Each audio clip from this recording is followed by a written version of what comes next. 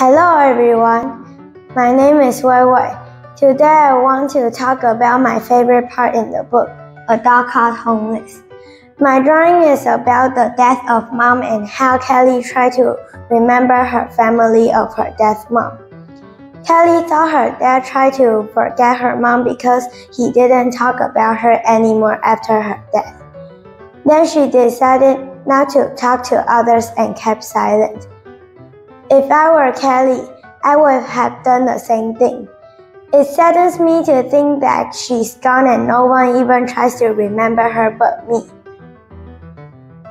Even though Cally's mom passed away, she still remains in her heart and mind. Cally remembers her mom in simple ways like the color of the wall of their old house.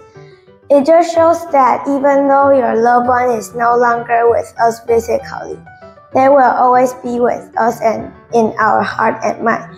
Thank you for listening.